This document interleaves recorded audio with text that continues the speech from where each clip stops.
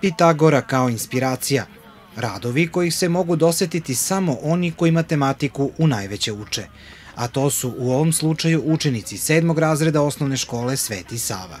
Izložili su ih u parku ispred škole i izazvali veliku pažnju prolaznika.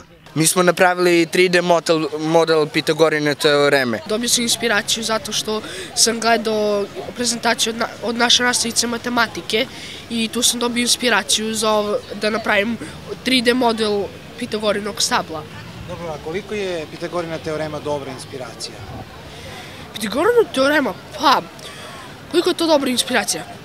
To je odlična zapravo inspiracija ako želite da pustite e, maštu na volju. Ima mnogo oblasti iz matematike koje su dosta zanimljivi.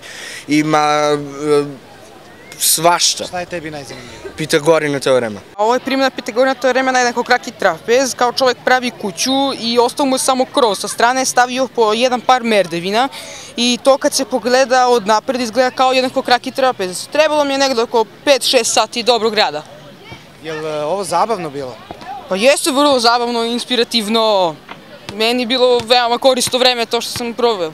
Ovih radova ne bi bilo da nije dosetljive nastavnice matematike, koja je ideju preuzela iz Evrope i koja, kako sama pojašnjava, ne trpi da joj se deca na časovima dosađuju. Po meni e, je bitan stav nastavnika. Mi se igramo kad god možemo, jer to su deca, to je osnovna škola i gledam da im dajem zadatke kroz koje oni mogu da se igraju, da, da li su to lavirinti, dešifrovanja. U svakom slučaju kad nam je nešto dosadno dugo da vežbamo, ja smislim neki zadatak kreativan. Na krajnje originalan i dosetljiv način učenici su Pitagoru oživljavali kod kuće. Nije im bilo naporno, a ničega ne bi bilo da ideju nije podržala i škola i direktor koji je sve vreme bio među posetiocima.